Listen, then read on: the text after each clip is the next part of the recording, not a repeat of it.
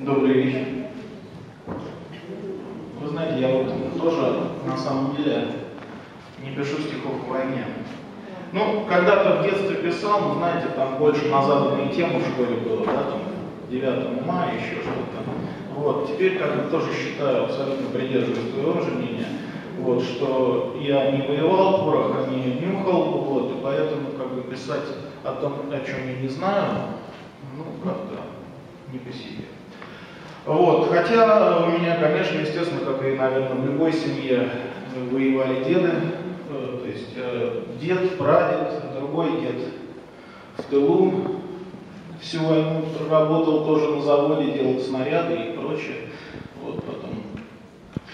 А, поэтому, конечно, этот праздник, это великий, конечно, праздник День Победы. Я считаю, что, наверное, более величайшего праздника у нас нет в стране. То есть из всех тех, кто и новых, и старых праздников, все-таки это самый важный.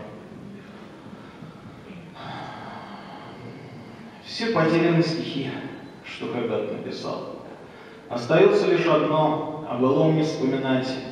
Мир трясется от стихии, рвутся в клочья небеса, а в открытое окно стали годы улетать. Все раздарены слова, столько времени прошло. Видно, кто-то сквозь дурман мог чернила изводить. Дайте же мне поцеловать, музы белое чело, довести хоть все до ума и хоть что-то возродить. Но закончились листки, да сломался карандаш, отключили в доме ток в предрассветные часы. Словно осень без покидая город ваш, и теряюсь, как цветок в мелких капельках росы. Ну и я, так как все-таки сегодня у нас презентация сборника «Часовой памяти», а, вот, я бы хотел прочитать оттуда э, два стихотворения, которые туда вошли, вот, поэтому, чтобы, чтобы вам запомнился я и как бы стихи, я вот как раз их сейчас презентую. Почему твой взгляд опять рассеян? Почему глаза слезами жидки? Почему ты уезжаешь из России, оставляя все свои пожитки? Для чего ты покидаешь этот город, жизнь в который радостно дыхала? Неужели он тебе не дорог? Или дорог, только слишком мало?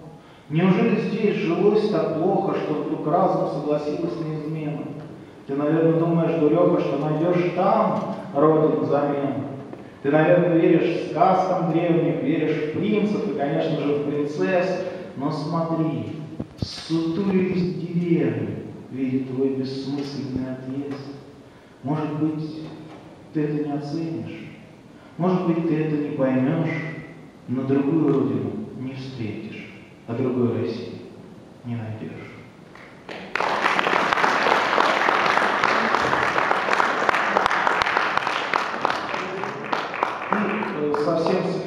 Свеженькое стихотворение, то есть это вот оно последнее, и вот оно как раз я успел его вот тиснуть, так скажем, в последний момент, в сборник часовые памяти. А знаете, все-таки последнее стихотворение, оно всегда как-то вот более, да, вот ближе к сердцу.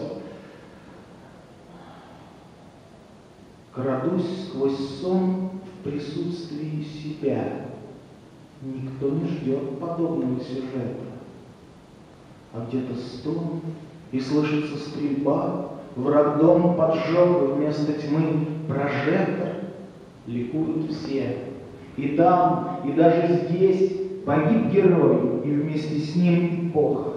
И я присел за тем, чтобы пролезть и встать в тот строй, где мне не будет плохо. Бредет во сне неясный человек, Шаги его так на мои похожи. И сквозь просвет полуоткрытых век Вздохнул легко. Я жизнь еще не прожил. Спасибо.